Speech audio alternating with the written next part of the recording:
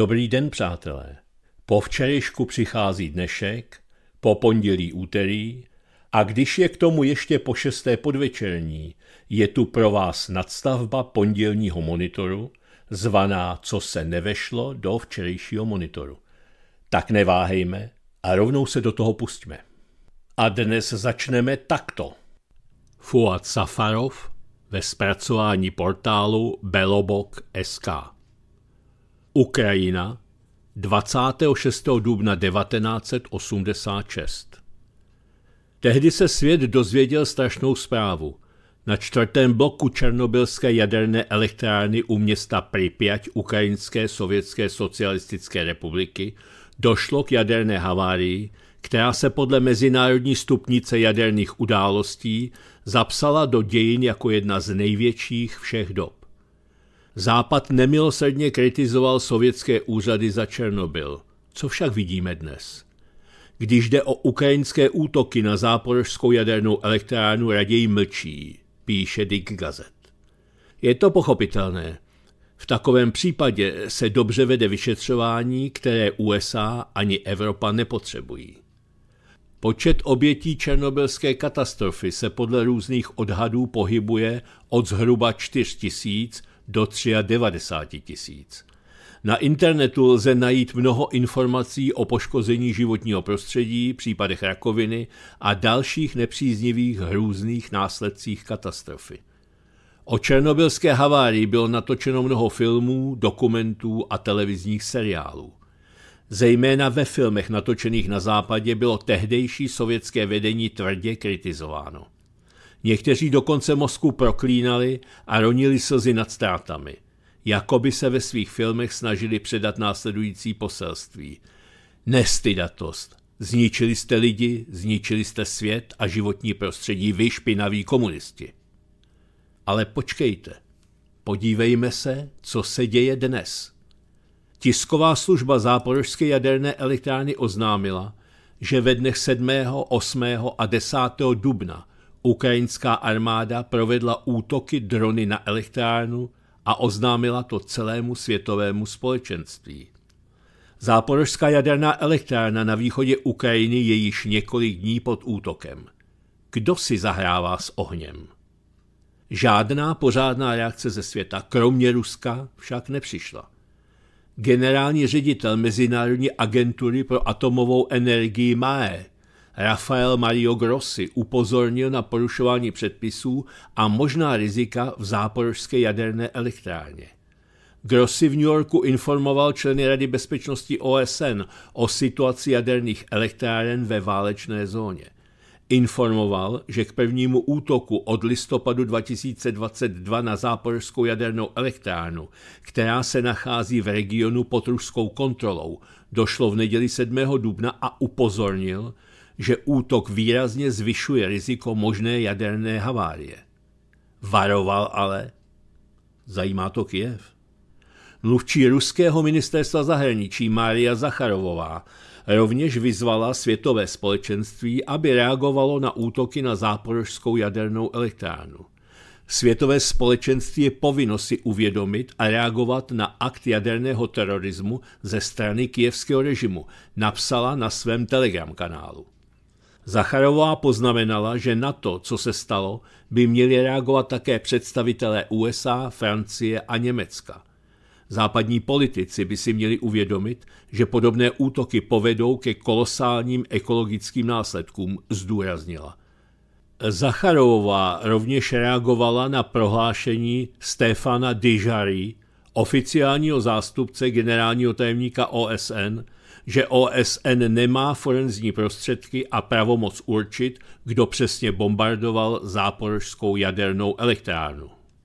Kromě toho Zacharovová v této otázce OSN chytře nachytala na švestkách. Mluvčí ruského ministerstva zahraničí upozornila na následující skutečnost. Generální tajemník Antonio Guterres trvá na tom, že Světová organizace nemá možnost identifikovat osoby odpovědné za ostřelování záporožské jaderné elektrárny, ale byla ochotná zajistit pokrok ve vyšetřování událostí v Buče. A co závěry oficiálního mluvčího a kanceláře generálního tajemníka ohledně Buči před dvěma lety? Připomínám, že na briefingu 7. dubna 2022 Stefan Dijari řekl, chceme transparentní vyšetřování. V systému OSN existují mechanismy, které zajišťují odpovědnost za to, co může být velmi závažným trestným činem. Tyto mechanismy fungují. Fungují tedy tyto mechanismy nebo neexistuje žádný mandát, položila otázku Zacharovová. Ti, kteří plakali a ronili krokodýlí slzy kvůli Černobylu, nyní zjevně raději mlčí o tom, co se děje v záporožské jaderné elektrárně. Konec konců, pokud dojde k vyšetřování, pak se zjistí, kdo útok spáchal. A to není v jejich zájmu. A teď tu je strategic kultur. Francouzský prezident Emmanuel Macron si přeje příměří na Ukrajině a v Gaze po dobu konání letních olympijských her v Paříži. Macron tento týden uvedl, že jeho návrh je v souladu s antickým konceptem olympijského příměří, kdy se historicky nepřátelství odsouvalo stranou, aby se ukázaly vyšší ideály lidského bratrství a mírového úsilí. Zkrátka demonstrace budovatelské představy, že sport stojí nad politikou. Rusko odpovědělo, že v zásadě není proti této myšlence. Moskva však poukázala na to, že Macronova myšlenka olympijského míru postrádá jakékoliv praktické detaily, které by ručily za skutečnou iniciativu. Řečeno přímo, francouzský vůdce nemá žádnou důvěryhodnost, aby takovou potenciálně důležitou dohodu namízel. Jeho vágní návrh je plný rozporů. Ještě před několika týdny Macron ventiloval myšlenku vyslání jednotek NATO do bojů na Ukrajině proti Rusku – tuto neuváženou provokaci, která by mohla konflikt eskalovat do světové války mezi jadernými mocnostmi, dosud neodvolal. Nyní máme věřit, že pan prezident je tribunem světového míru. Paříž a další hlavní města NATO zoufale tlačí na to, aby byly neonacistickému režimu v Kijevě poslány další zbraně – Zástupná válka NATO proti Rusku trvá již třetím rokem a pro Washington a jeho západní spojence se stále více jeví jako ztracený případ. Ani jeden západní lídr není ochoten vzdát se přízraku tohoto krvavého debaklu, aby strategicky porazil Rusko tím, že proskoumá diplomatické řešení války. Jak lze tedy brát vážně Macronův údajný zájem o olympijské příměří? Pokud jde o gazu, Francie a její partneři z NATO se v uplynulých šesti a půl měsících podíleli na sponzorování genocidy. Masakr více než 34 tisíc palestinců izraelským režimem, počet mrtvých roste každý týden a pokračující hladové obléhání pásma Gazy jsou zásadním způsobem umožněny vojenskou a politickou podporou Spojených států a Evropské unie. Jako by to nestačilo, Francie a Spojené státy a Velká Británie de facto podporují izraelskou agresi vůči Iránu, ale i Sýrii, Libanonu, Iráku a Jemenu. Tato trojice západních zemí pomáhá izraelské protizdušné obraně a zároveň odsuzuje Irán a uvaluje na něj hospodářské sankce – jejich tiché zapojení dává další zelenou izraelské agresivitě a porušování mezinárodních zákonů, což rozkládá celou strukturu globální bezpečnosti. Vzhledem k děsivé vině západních mocností na rozmíchávání těchto výbušných konfliktů je vrcholem dvojsmyslnosti, když Macron otočí a během letních olympijských her, které se konají v Paříži od 26. července do 11. srpna, předloží svůj pompézní návrh na příměří. Skutečným zájmem Macrona je předvést Francii v celé její domělé velikosti v rámci celosvětové podívané. Narcistický Macron je hnán sebeprosazujícími ambicemi a iluzemi o velikosti světového státníka a prezidenta, který obnovil mezinárodní prestiž Francie. Je to tatáž megalománie, která pohání jeho nedávné vízy k většímu zapojení NATO do zástupné války na Ukrajině. Bývalý Rothschildův bankéř a nyní rádoby Napoleon je šarlatán, který zcela postrádá jakékoliv zásady. Je příznačné, že zahajovací ceremoniál letních olympijských her se má konat na řece Séně formou extravagantní regaty. Macronovi jde při olympijských hrách především o to, aby se Francie ukázala světu v co nejlepším světle pro politickou a obchodní exibici. Samotné hry jsou prostředkem k naplnění jeho marnivých ambicí. Pravdou je, že olympijské hry a další mezinárodní sportovní události jsou již dlouho unášeny západní politikou pro její imperialistickou agendu. Když USA a jejich spojenci z NATO vedli nezákonné války v nesčetných zemích Střední Asie, Blízkého východu a Severní Afriky, nikdy se nevolalo po olympijském příměří. Nikdy se nevolalo po zákazu účasti USA a jejich spojenců na hrách, přestože pro takové volání existovaly závažné důvody. Ruští sportovci mají již několik let zákaz účasti na sportovních akcích pouze na základě vykonstruovaných tvrzení o zneužívání drog a dalších údajných porušeních pravidel – jak v několika článcích upozornil náš publicista Deklan HS, ruská krasobruslařská šampionka Kamila Valjeva a další její sportovci světové úrovně byli vystaveni neutuchajícím snahám západu zničit jejich pověst a účast ve sportovních cirkusech NATO. Je ostudné, že západní mocnosti a jejich toxická masmédia udělali vše proto, aby politika stála nad sportem. Sportovní události se staly jen dalším doplňkem západní propagandy. Kdyby měl Macron skutečné motivy pro mezinárodní mír, vyzýval by k ukončení vyzbrojování neonacistického režimu na Ukrajině a zasazoval se o věrohodné diplomatické angažmá ve vztahu k Rusku. Kdyby Macron upřímně chtěl, aby olympijské hry sloužily jako předehra k míru a lidskosti, Vyzýval by k okamžitému příměří v Gaze a k plnému respektování palestinských národních a lidských práv. Západem kontrolovaný Mezinárodní olympijský výbor zakázal ruským sportovcům účast na hrách v Paříži pod jejich národní vlajkou. Jejich ústupek spočívá v tom, tedy ústupek v uvozovkách, spočívá v tom, že se jich může zúčastnit 40 ruských sportovců, pokud tak učiní pod v uvozovkách neutrální vlajkou a nebudou projevovat známky podpory ruské vojenské kampaně na Ukrajině. Proč taková přísná opatření nebyla uvalena na Američany nebo Brity během jejich zločinných válek v Iráku a Afghánistánu? Rusko je zakázáno, ale Izraeli je dovoleno vyslat celý tým v národních barvách, zatímco provádí nejhorší genocidu v moderní době – Pokrytectví západu je naprosto odporné a sebeobvinující. Podobně jako v řecké tragédii ničí bezúzný cynismus a zneužívání ze strany západních mocností olympijské hry, tedy událost, kterou se snaží monopolizovat pro své nechutné ukájení ctností. V přeplněném západním poli soutěžících o pochybný titul získává Macron zlato za cynismus. Evropská unie připravuje 14. balíček sankcí proti Rusku za jeho pokračující válku proti Ukrajině. Informovala o tom v pátek tisková agentura DPA s odvoláním na vysokého představitele EU. Nový balíček sankcí bude zahrnovat trestní opatření proti aktérům, kteří obcházejí stávající sankce proti Rusku. Pravděpodobně dojde také k dalšímu rozšíření seznamu osob a subjektů, jejichž majetek bude v EU zmrazen. Konkrétní návrhy předloží Evropská služba pro vnější činnost a Evropská komise členským státům již tento týden. A k tomuto tématu popsala reakci Kremlu včerejší svobodná presa.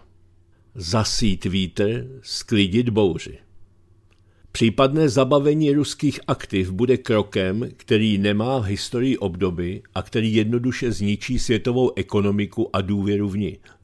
Je to naprosto nezákonné a nelegitimní, prohlásila předsedkyně Rady federace Valentina Matvijenková v rozhovoru s generálním ředitelem mezinárodní mediální skupiny Rasia Sivodňa Dmitrijem Kyselevem. Konfiskaci schválila sněmovna reprezentantů Spojených států – Zároveň kongresmani hlasovali pro poskytnutí pomoci Kijevu ve výši 61 miliard dolarů. Podle návrhu zákona budou zablokovaná aktiva použita na vyplacení očkodnění Ukrajině. Mluvčí Kremlu Dmitrij Peskov to označil za zásah do státního majetku, do státních holdingů, do soukromého vlastnictví. Podle něj nelze takové iniciativy vnímat jako legitimní, jako nezákonné.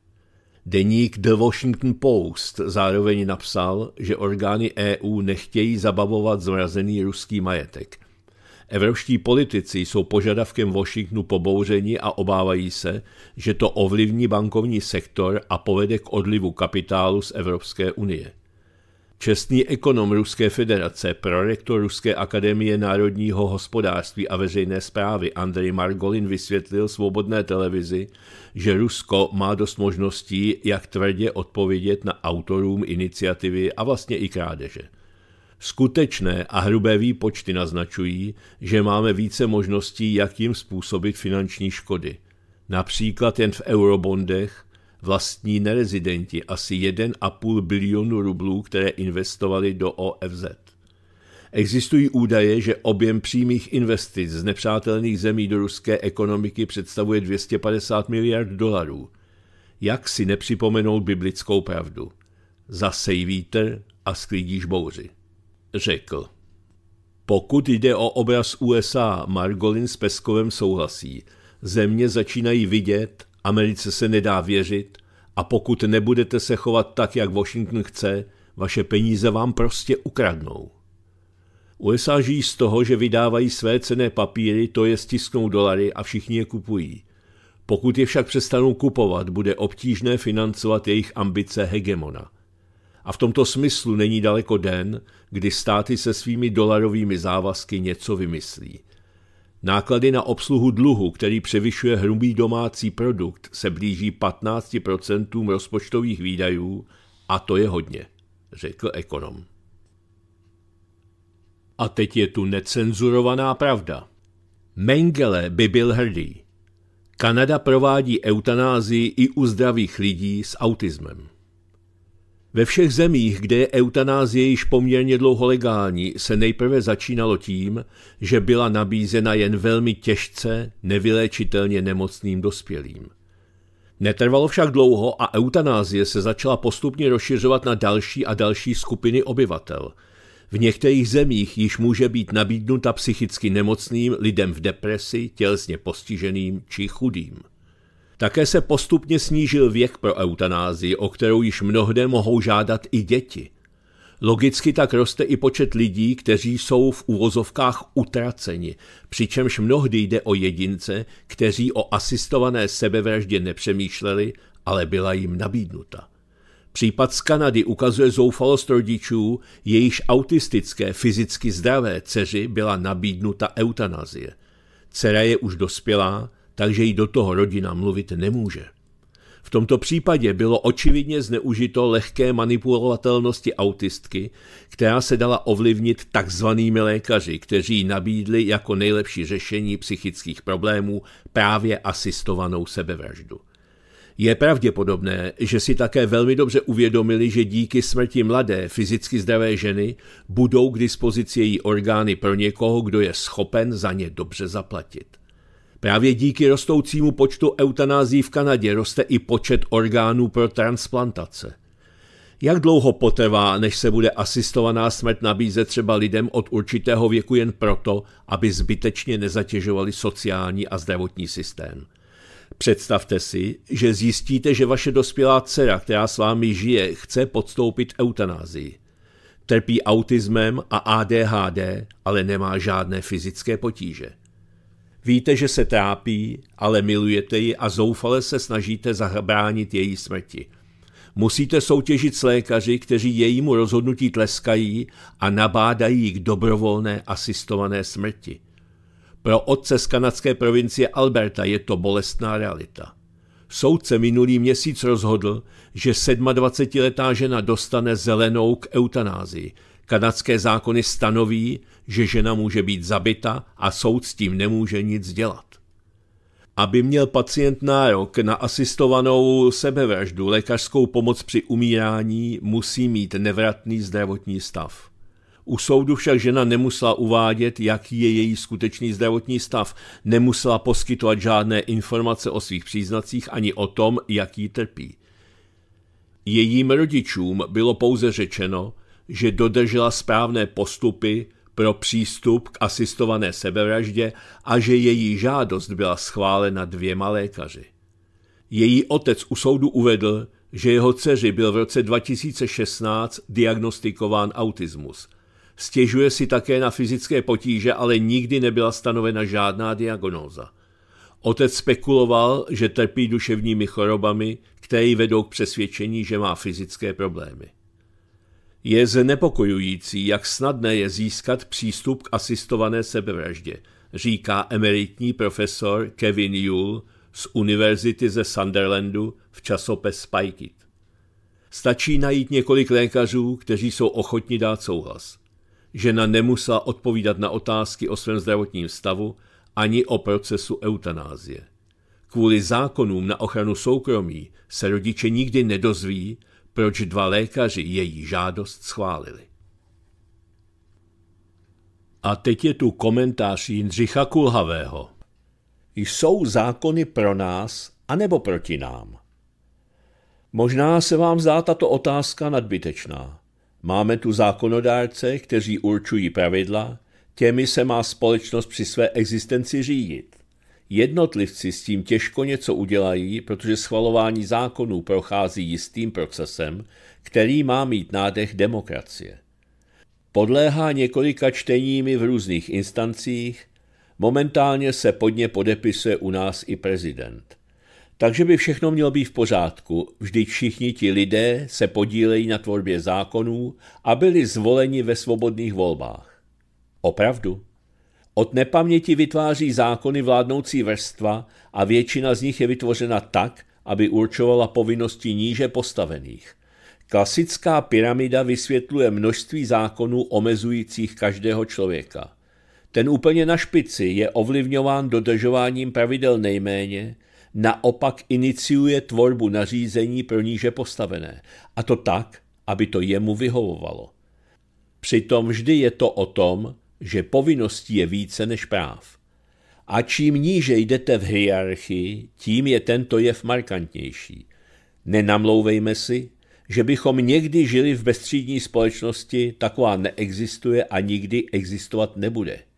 Tím se i vysvětluje, proč je skutečná demokracie nereálnou situací a prázdným pojmem vzniklým pro projevy politiků a výlevy médií. Existují určité normy, ovšem různě procentuálně odstupňované, přičemž 100% je stejně běžná jako perpetuum mobile. Prostě je i v lidské společnosti nelze realizovat. Tvorba zákonů tak přísluší vládnoucím, je jedno, v jakém zřízení či době lidé žijí, toto je prostě dlouhodobá realita. Z toho vyplývá, že způsob jejich dodržování je taktéž v rukou tvůrců. Tím si tedy vysvětlujeme i vznik ozbrojených represivních složek zvaných nyní policie. Ta samozřejmě slouží vrchnosti a hlídá chování nižších vrstev. A čím níže stojíte, tím větší pravomoci policisté mají a uplatňují. Existují však i další složky státní moci, například finanční zpráva, tajné služby, různé inspektoráty a úřady. Čím více lidí v těchto organizacích pracuje, tím více represivní přístup horních vrstev očekávejme. U nás je jich nesnesitelně moc. A nad nimi stojí elitám oddaná justice, která rozhoduje o výši postihů za vaše nevhodné chování. Je tedy evidentní, že zákony nejsou pro nás, ale jejich absolutní většina říkající nám, co můžeme a co nikoliv, je tu pro omezování našeho já. Kdysi stačilo pár pravidel, dnes jsou sbírky zákonů v rozsáhlých knihovnách. Cokoliv děláte, musí být dle nějakých směrnic. Ty vydává kde kdo. Od státních institucí přes EU, VHO, OSN, prostě každý trochu mocný. Někde vznikne názorový směr, doktrína, fantasmagorie a i hned začne kolotoč nových příkazů, norem a trestů za nedodržování. Ukázkou byl COVID či je Green Deal. Nic na tom nemění ani pozdější zjištění, že šlo o omyl či zásadní sejítí z cesty. Lidé se musí nesmysly, z nich se transformoval zákon řídit až do jeho zrušení. Někdy se tvrdost postihů stupňuje, Přestože nakonec se přijde na to, že šlo o jasný omyl, či ještě častěji veřejnost poškozující záměr. Náhradou škod se nikdo nezabývá. A dopad je samozřejmě nejdrsnější tam dole, ostatně všichni známe zákon padajícího lejna. Ptáte se, proč to všechno píšeme? Proč to říkáme? Tedy proto, že nám v poslední době ta smršť nesmyslů vadí a zaráží nás, kolik lidí rezignuje a podřídí se i takovým lumpárnám, které je později mohou zabít. Ukázkou byl covid, kdy většina národa poslechla, aniž by se přesvědčila o reálném nebezpečí. Dozvuky v podobě velkého množství náhlých úmrtí sice části z vás otevřely oči, ale pro mnohé už je pozdě. Přesto se lze vsadit, že při další podobné situaci dojde k opakování chování lidstva a většina opět podlehne nátlaku a nevzepře se. A to tu zůstalo do stále přesvědčených o správnosti rozhodnutí nechat se možná i skoro popravit. A podobné je to i v jiných oblastech. Drsné daňové zákony nás připravují o naše výdělky a majetek, přičemž vybrané finance končí bez jakékoliv kontroly kde si v kanálech vedoucích na v úvozovkách správná místa. Samozřejmě elity mají i v nich své díry, kterých využívají. Navíc, jak víme, i když něco poruší, jsou beztrestné. Vysfiala a Kampelička. Dalším příkladem jsou silniční zákony – na začátku většiny omezení jsou naprosto smyšlené statistiky vytvořené na zakázku.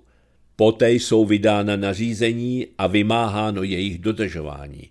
Polovina omezení postrádá logiku, čtvrtina je extrémně přísná a absolutní většina slouží k vybírání dalších peněz. Netvrdíme, že jsou silniční pravidla nepotřebná, ale rozhodně velkou část považujeme za záměrně likvidující řidiče – Navíc jsou vytvářena tak, aby postihovala především ty schopnější a u méně šikovných umožňovala jezdit. Ano, máme problém s maximálními rychlostmi, ne všemi. S poutáním řidičů pásem minimálně ve městech, s možností parkování a pár dalšími vymoženostmi – Naopak se nebráníme jiným záležitostem, například kolem pneumatik, světel a dalších atributů technického stavu vozidel, i když zákaz některých úprav je zcela cestný.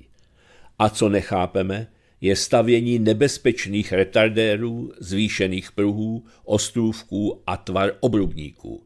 Jak je možné zužovat beztrestně jízdní pruhy, jak to dělají praští piráti a ohrožovat bezpečnost všech? O zákonech, e, jejich kreativním obcházením a postizích bychom mohli napsat sto článků. Je zde nepochopitelné, kolik lidí je ochotno se nejen čemukoliv podřídit, ale dokonce kontrolovat ostatní, zdali to dodržují a zdali dodržují to, co oni. Nemusí to být přímo udavači, i když takového lidského odpadu je také dost. Jsou to moralisté neschopní se zamyslet nad tím, čím se řídí. Přitom lidstvo posouvají vpřed především rebelové neochotní se podřizovat normám. Ne, netvrdíme, že Magor jedoucí kolem školy stovkou je progresivním prvkem lidstva, ale také neříkáme o řidiči moderního auta jedoucího po dálnici třeba dvoustovkou má volný prostor, že je nebezpečím pro své okolí. Tím jsou spíše ti, kteří za své přijmou cokoliv. Můžete nesouhlasit, ale tím jen projevujete svůj stádní přístup. Vše má své hranice. Brzy vás budou chtít zavřít do 15-minutových měst. Čemu dalšímu se ještě podřídíte? A následuje Defense a značka Paco. Svobodné placení. Mluvčí českých Hitler marketů soudruh Prouza se nechal slyšet, že ponechání povinnosti braní peněz v hotovosti je omezováním podnikatelské svobody. No tak si pojďme popovídat o svobodě. Svoboda jednotlivce končí tam, kde začíná svoboda druhého. To jsem nevymyslel já, ale nějaký John Stuart Mill před více než 150 lety. Z této definice svobody vyplývá, že žádná svoboda není neomezená, každá má svoje hranice. Mnohým takové hranice samozřejmě nevyhovují a tak se různí lidé z různých důvodů starají o to, aby jejich prostor svobody byl o něco větší než těch ostatních. To se zase nelíbí těm ostatním a tak vznikají spory, rvačky a války. Udržet spravedlivou rovnováhu svobody pro všechny je prakticky neřešitelný úkol pro jakéhokoliv panovníka. Zejména v posledních letech se s různými svobodami roztrhl pytel. Například je zcela legální svobodně běhat za bílého dne na veřejném místě se zabodnutým pavým pérem v konečníku, aniž by dotyčný homosexuál trpěl následnou nesvobodou. Problém je, že v ten moment takový deviant omezuje svobodu ostatních třeba už jen tím, že se kvůli jeho exhibicionistickým touhám zastavila v Praze doprava a rodiče malého nevinného dítka procházejícího náhodně kolem mají co vysvětlovat, protože jejich ratolest dostává za šťourání v prdeli facku. Ale vraťme se k panu Prouzovi. Co výrok pana Prouzy vypovídá? že jeho chlebodárci, včetně jeho samého, okázale serou na svobody běžných lidí. Nemám vůbec nic proti placení kartou či mobilem, sám toho využívám, včetně dorovnání drobnějších dluhů v řádu stovek mezi přáteli, ale stále mám u sebe bankovky, pořád preferuji ten prastarý způsob dorovnání saldokonta. Ale především já mám tu svobodu rozhodnutí, zda zaplatím kartou, respektive mobilem nebo bankovkami. Ohánění se svobodou podnikání při zákazu příjmu keše mi přijde od soudruha Prouzy poněkud mimo mísu právě z důvodu omezení mé svobody. Přihlédneme-li k tomu, že za každou transakci si provozovatelé platební terminálů berou 1 až 2% z částky transakce, je možné, že pan Prouza bojuje i v druhém plánu – Budou-li lidé nuceni platit pouze kartami, menší obchůdky zase o něco více ztratí konkurenceschopnost vůči řetězcům, protože nasypat další prachy z tvrdě vydřené tržby vyžírkům z bankovního sektoru už bude nad jejich síly. Pokud jde o míru šmírování, je bezhotovostní placení vlhkým snem každého mocipána, protože přebírá kontrolu nad našimi životy. Najednou totiž stačí už jen jeden klik v počítači – a vaše platební karty se během okamžiku stávají kusem bezceného plastu. Kritériem nemusí být jen vyčerpané konto, ale i našimi médii tolik kritizovaný systém sociálních kreditů, který lze už teď hravě zavést i v naší kotlině. Inu, co je dobré pro kolaloku, je dobré pro zákon. Ať už má pan Prouza a jeho páníčkové jakoukoliv motivaci ke svým blábolům o svobodě pro korporáty, moje pojetí svobody má zcela jiné vyústění. A to v tom smyslu, že uhrazení dlužné částky by mělo být otázkou svobodného a rovnoprávného rozhodnutí obou zúčastněných stran a už vůbec nešmírováno a následně schvalováno někým, komu je do mých finančních transakcí úplný hovno. Pro Hitler markety s panem Prouzou v čele mám jen tento vzkaz. Víš co, Sašo, jdi do prdele. Prosím. Jdi do prdele. Tak doufám, že si ho vezmou k srdci. No tak to asi ne, ale zkusil jsem to. Časopis Argument a Oskar Krejčí. Vstupenka do Bílého domu.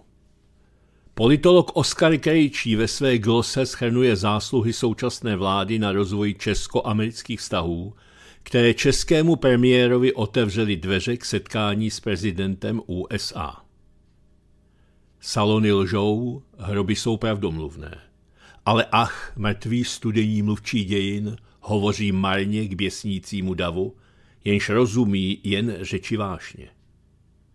Heinrich Heine, francouzské proměny, 1832 Získat pozvání do Bílého domu to v skutku není snadné. Nestačí jen slibovat a pochlebovat, to umí každý. Je nutné si přijetí zasloužit nejen slovy, ale i činy. Co tak velkého udělala současná vláda České republiky, že se jí předseda dostal do oválné pracovny? Není to sbírka na dělostřelecké granáty pro ukrajinskou armádu, i když i takový projev loajálnosti je hodný poplácání po rameni. Důležitější jsou tři věcné posuny ve vztazích Česka se Spojenými státy, které byly připraveny loni a které by měly mít větší trvanlivost než válka na Ukrajině. Dokonce by měly ustát i případnou výměnu vlády v Česku či prezidenta v USA. Jsou to dohoda mezi Českou republikou a Spojenými státy americkými o spolupráci v oblasti obrany, mohutné nákupy vojenské techniky z USA pro českou armádu a významné úpravy zahraničně bezpečnostní doktríny Česka. Dohoda mezi Českou republikou a Spojenými státy americkými o spolupráci v oblasti obrany byla schválena vládou, oběma komorami parlamentu České republiky a podepsána prezidentem během necelých čtyř měsíců roku 2023. Tato dohoda vyjmenovává 11 lokalit dohodnutých zařízení a prostor, které Česko poskytne k užívání ozbrojeným silám USA. Ony vybrané lokality by neměly být základnami, ovšem Česká republika poskytne dohodnutá zařízení a prostory bez nájemného či obdobných nákladů pro ozbrojené síly USA vlastně k volnému užití tedy něco jako předsunutá stanoviště připravená přijmout bojové jednotky. Tak trochu, jako to mají ozbrojené síly USA zařízené v Jižní Koreji. Dohoda výslovně nezmiňuje rozmístění nukleárních náloží na českém území, ovšem nikterak to nezakazuje. Řečeno jinak, napomáhá vytvořit podmínky k pobytu jaderných zbraní USA v Česku – to však vylučuje čtvrtá kapitola zakládacího aktu o vzájemných vztazích, spolupráci a bezpečnosti mezi NATO a Ruskou federací z roku 1997, podle které se aliance zavázala neumistovat jaderné zbraně na území nových členských států. Ovšem byla to předsedkyně poslanecké sněmovny České republiky, která v červnu loňského roku na setkání předsedů parlamentů zemí NATO ve Vilniusu přišla s návrhem od této úmluvy odstoupit. Jistě to ale byla jen osobní iniciativa paní předsedkyně a souvislost se zmíněnou dohodou je čistě náhodná. Podřísení se aliančnímu diktátu 2% hrubého domácího produktu na obranu ročně vytváří z Ministerstva obrany České republiky jedinečnou instituci, která má problémy utratit přidělené balíky peněz. Nemá ovšem problém nakupovat zbytečné či předražené zbraně, když k tomu patřičně motivuje vládní politiky a vystraší veřejnost tak se zrodila i dohoda s USA o nákupu 24 víceúčelových stíhacích letounů F-35, stvrzená koncem letošního ledna. Zatím se předpokládá, že Česko za tato letadla zaplatí téměř 150 miliard korun. V této ceně nejsou pouze platby za samotné letouny, munici, vybavení, výcvik, servis letounů, opravy a údržbu – Cena také zahrnuje náklady na výstavbu infrastruktury, nákup paliva, na přípravu odborného personálu a podobně. Uvedená částka 150 miliard korun je spočítaná na kurz 21 korun a 20 haléřů za dolar, přičemž splátky z Česka budou prováděny dvakrát ročně při přepočtu v aktuálním kurzu.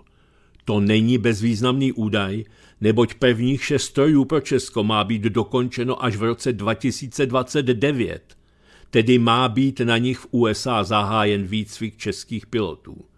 Dalších šest strojů má být vyrobeno do roku 2031. Zbývajících 12 letounů by měl Česko obdržet v letech 2032 až 34. Jaké budou v té době ceny těchto letadel a kolik modernizace budou potřebovat, to lze jen hádat.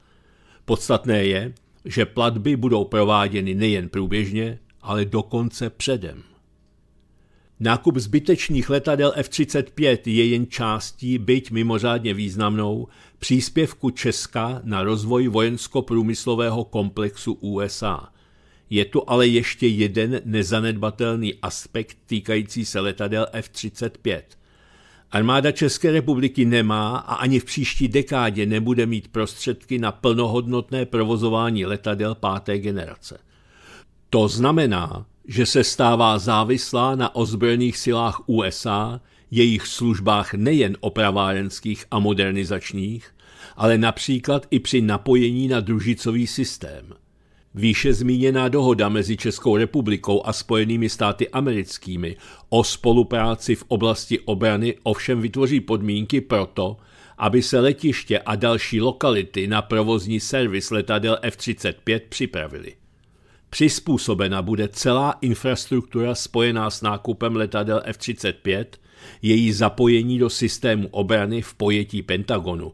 Ne základny v Česku budou kompatibilní se základnami USA v jiných zemích NATO. Protože minulý měsíc letadla F-35 získala oficiální certifikát, který je opravňuje nosit a schazovat termojaderné bomby, lze předpokládat možnost využití této infrastruktury v Česku pro nukleární síly USA. V současné době ozbrojené síly USA v této oblasti skladují své jaderné pomy na základnách v Německu, Belgii, Nizozemsku, Itálii a Turecku. Všechny zmíněné státy nakupují také letadla F-35 a připravují pro ně provozní zázemí. Loni vláda České republiky schválila tři dokumenty, které se týkají zahraniční a bezpečnostní politiky. Bezpečnostní strategii České republiky 2023, obranou strategii České republiky a koncepci výstavby armády České republiky. Podle těchto dokumentů se Česko oficiálně stalo transitním územím pro armády NATO, tedy především pro armádu USA. Všechny tyto tři dokumenty totiž obsahují jeden zásadní motiv, který nepřímo definuje geopolitickou roli Česka v plánech NATO, tedy v plánech Pentagonu. Zdůrazňují, že vzhledem k zeměpisné poloze je zásadním úkolem plnohodnotné a spolehlivé zabezpečení území Česka na podporu zdejšího pobytu aliančních vojsk a pro přesun těchto vojsk přes české území. Dokonce se mluví o potenciálně velkém množství ozbrojených sil. Záměry dohody mezi Českou republikou a Spojenými státy americkými o spolupráci v oblasti obrany se tak stávají ještě srozumitelnější. Když se všechny tyto skutky schrnou na jednu hromadu, je zřejmé, že si český premiér pozvání do Bílého domu zasloužil. Za téměř 35 let po sametové revoluci nikdo neudělal tolik pro přeměnu Česka v přívěsek amerických zájmů jako tato vláda. I transformaci navazala, která proběhne snadno, rychle a s nadšením, musí přece někdo odpracovat.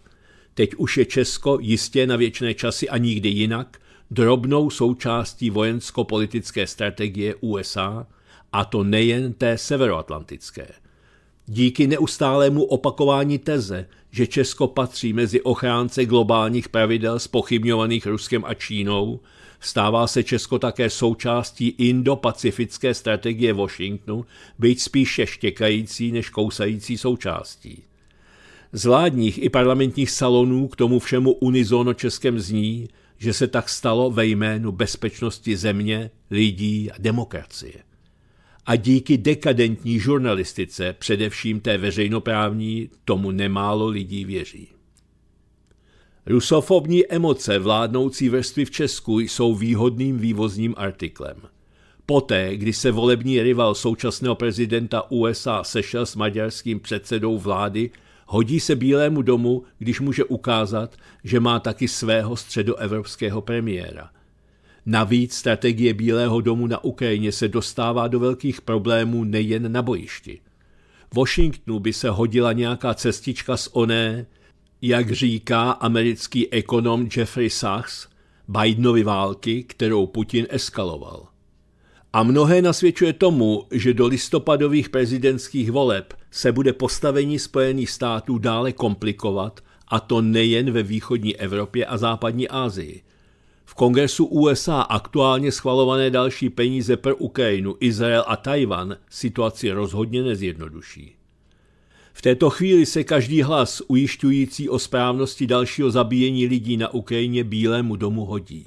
Navíc v české vládnoucí vrstvě dost lidí, kteří cítí, že válka na Ukrajině trvající až do parlamentních voleb v Česku jim přináší nenahraditelné výhody. Čím více budou v této souvislosti do veřejnosti pronikat davové emoce, tím pro vládní koalici lépe. Obecně platí, že vláda, která se na domácím poli dostane do problémů, snaží se otočit pozornost lidí směrem k mezinárodním vztahům. Rostoucí počet hrobů na Ukrajině není pro ní významný. A tak se předseda české vlády ocitl v Bílém domě. Nebyla to laciná vstupenka a je tu komentář Štěpána Chába. Tento text je plný spekulací a předpokladů, nepředstavuje fakta, ale na faktech postavené dohady.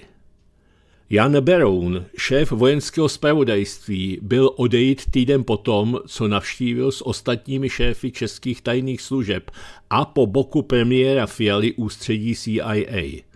Byl odejít náhle, nečekaně, přitom to měl za pár. Na podzim mu končil mandát, mohl tedy dosloužit a odejít bez povšimnutí. Přesto jej vláda Petra Fialy rukou ministrně Černochové zbavila funkce. Otázka, proč se to stalo týden po návštěvě ústředí CIA, je na bíledni. Získávám pocit, že Jan Beroun se v CIA zachoval jako František Kriegel. Odmítl podepsat, nesouhlasil, nechtěl být součástí toho, co se v CIA upeklo. Vím, že takové dohady by neměly patřit do diskuze slušné společnosti, protože spojenec vždy jedná solidně, čestně a otevřeně – ale věren pravidlu, že spojenec se většinou chová úplně opačně, tedy tak, jak jemu situace hraje do karet, prostě pochybuji.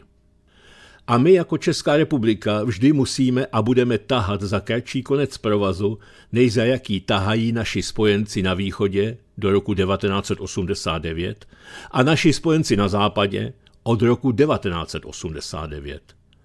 Uciloval jsem se nad tím, když světlo světa spatřilo video s lámanou angličtinou premiéra Fialy v oválné pracovně Bílého domu. Usmíval jsem se i nad tím, když Fiala kladl kytičku u bysty Václava Havla v Bílém domě. Uculoval jsem se i u Fialovy ponížené žádosti v kongresu USA o podporu Ukrajině. Všechno to byla oficiální pěna dní, kterou pozorujeme při jízdě rychlíkem té naší každodenní všednosti ale úsměv mě přešel, když jsem četl zprávu na iDnes, že Fiala vzal všechny tři šéfy českých tajných služeb do CIA. U čučkaře koudelky bych s uculováním nepřestal. U toho by to znamenalo, že jen vyjel s Fialou na výlet do Disneylandu Spojených států a že si sebou zpátky doveze nějakou pěknou medaili, kterou si pak bude doma leštit, jak už předvedl na výletě s Babišem. Ale všechny tři. Na kobereček, pro instrukce, na koordinaci budoucí akce, která se nutně odehraje v České republice a kterou mají české tajné služby krýt. Ano, takové dohady možná do slušné společnosti nepatří, ale Safraporte ono to tak vypadá. Obzvláště, když byl odejít šéf vojenské rozvědky, tedy člověk, který se mohl vzepřít, protože instrukce se týkaly nejvíc jeho resortu. U koudelky šéfa BIS neočekávejme žádné svědomí.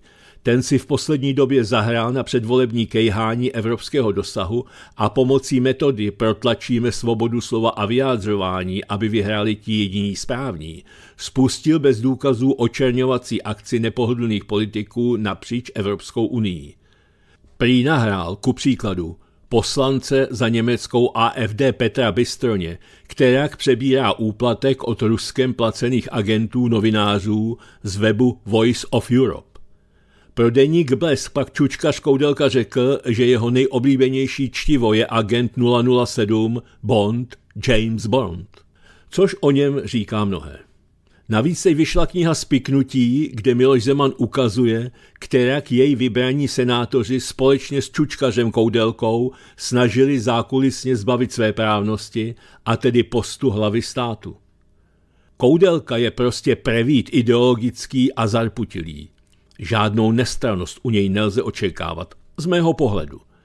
Výroční zprávy BIS o tom vlastně mluvili jasně – Vzpomeňme na výroční zprávu, kde naši čučkaři sice pod čarou, ale důrazně doporučovali, aby se přestalo učit o husickém období tak, jak se o něm učí, protože je to ruský narrativ. Pravda, v té době ještě slovo narrativ nebylo tak populární jako teď. Čučkaři výuku husického období nazvali ruským pohledem na věc, ale co na tom, vyznění je stejné. Na druhou stranu vojenské spravodajství vydávalo také výroční zprávy, jenže výroční zprávy, které dávaly smysl, které mluvily o faktických hrozbách pro Českou republiku a nějakým dějepisem se skutečně nezabývaly. Byl Jan Beroun odejít, protože nesouhlasil s tím, co dostali od CIA Befelem. Je to svým způsobem děsivé, ale nevěřím naší tajné službě vedené koudelkou. Vím, že je to nebezpečně politicky jednostranný člověk, který je schopný jít přes mrtvoly za ideologii, která je mu vlastní. Když si ho představím jako nějakou historickou osobu, okamžitě mi na mysli vyvstane Lavrentij Pavlovič Béria, šéf sovětské tajné služby NKVD, který se zasloužil o to, aby bolševický režim byl obzvláště krutý a odporný. A sám se na té krutosti u vybraných jedinců i rád osobně angažoval. Po Stalinově smrti ho samotné politbyro nechal zastřelit, protože se sápal po jeho místě. Koudelka ve mně vyvolává takový pocit.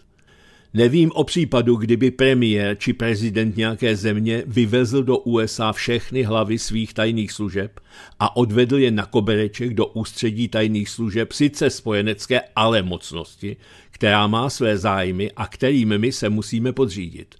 Je to asi takový pěkný zvyk jen české politiky. Mám pocit, že Jan Beroun prostě nechtěl podepsat, nesouhlasil, jako ve své době František Kriegel, když po něm v Moskvě tvrdě vyžadovali, aby podepsal, že souhlasí v úvozovkách s osvobozením Prahy v srpnu 1968. Nepodepsal. Teď jde o to, co nechtěl podepsat Beroun.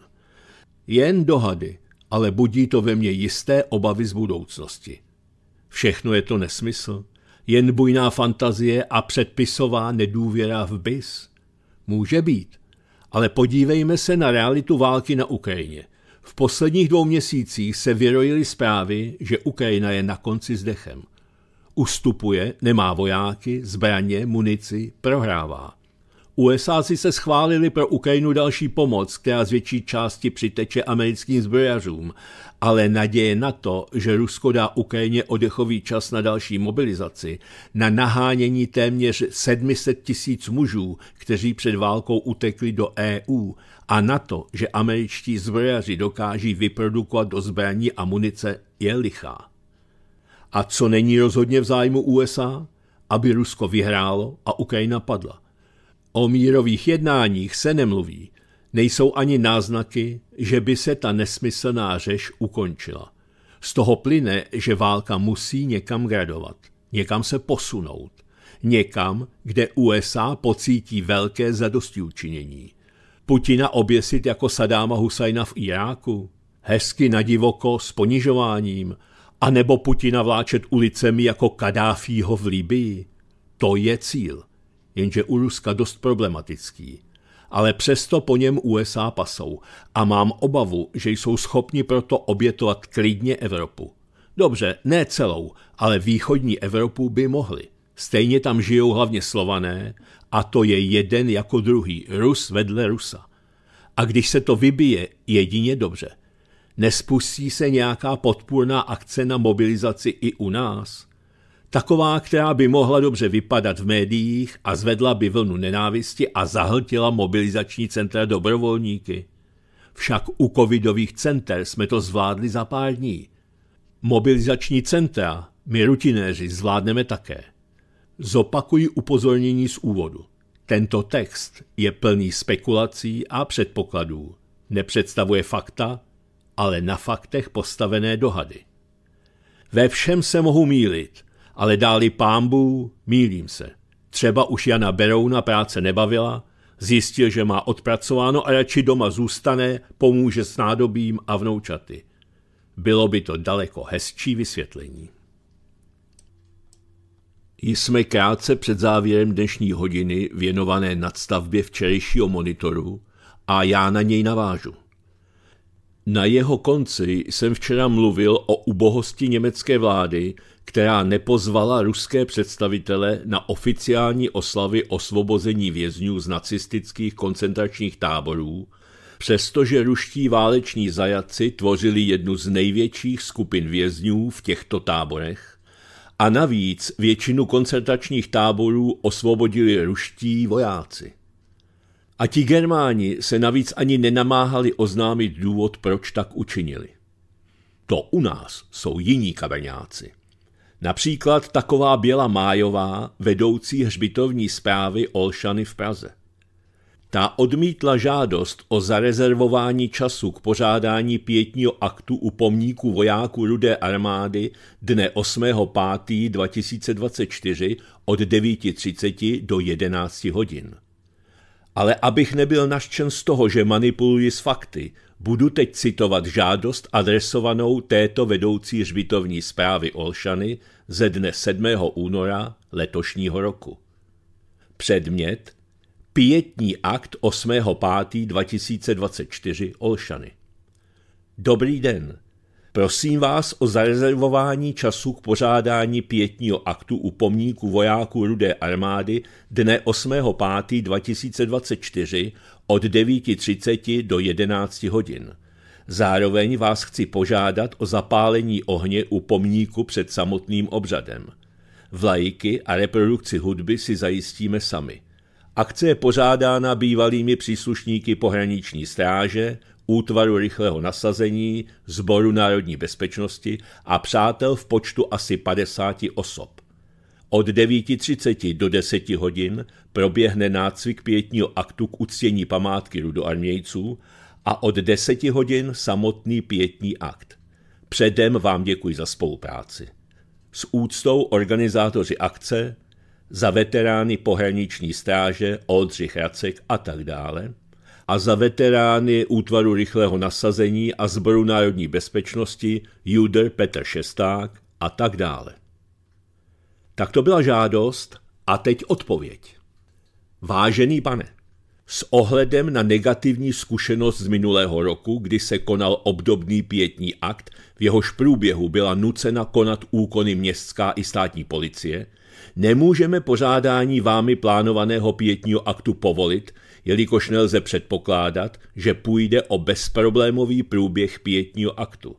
Veškeré akce tohoto typu musí být dostatečně organizačně zvládnuté a účastníci musí svým chováním respektovat specifika prostoru veřejného pohřebiště, aby nedocházelo k narušení veřejného pořádku, důstojnosti zemřelých a mravního cítění pozůstalých a veřejnosti.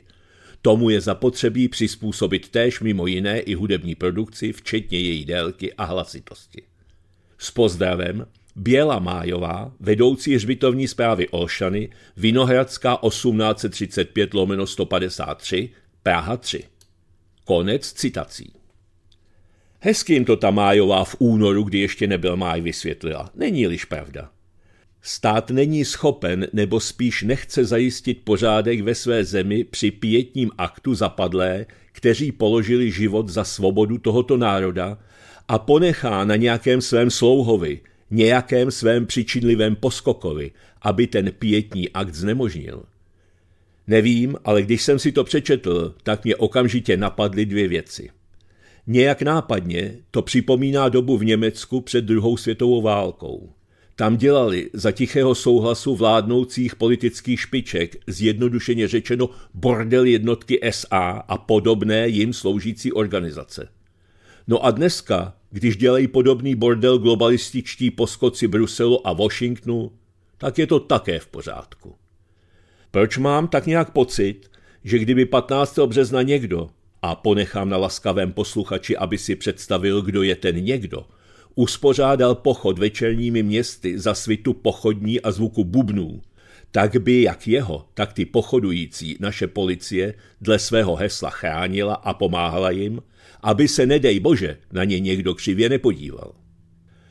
Ostatně ani by mě to nepřekvapilo, když se dozvídám, že státní prezident 15. března, tedy na výročí začátku československé okupace nacistickým Německem, odveze do Drážďan, tedy do Německa, nejvzácnější kus korunovačních klenotů, korunovační kříž, zhotovený po roce 1354, který doposud, pokud tedy vím, až teprve nyní, opustil naše území a ještě za takových okolností. Jak symptomatické. A to je pro dnešek úplně vše. Od mikrofonu studia Kalich Svobodného rádia se loučí a na setkání ve čtvrtek, ovšem dáli Bůh a cenzor, se těší Ivan Votava. Naschledanou.